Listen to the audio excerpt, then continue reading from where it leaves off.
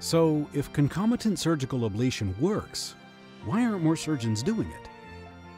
Even though data show that clinical outcomes and mortality improve with concomitant surgical ablation, especially in CABG patients with AFib, it is still notably undertreated in the US. Less than 10% of patients with AFib get surgical ablation, the treatment with the highest efficacy to restore sinus rhythm.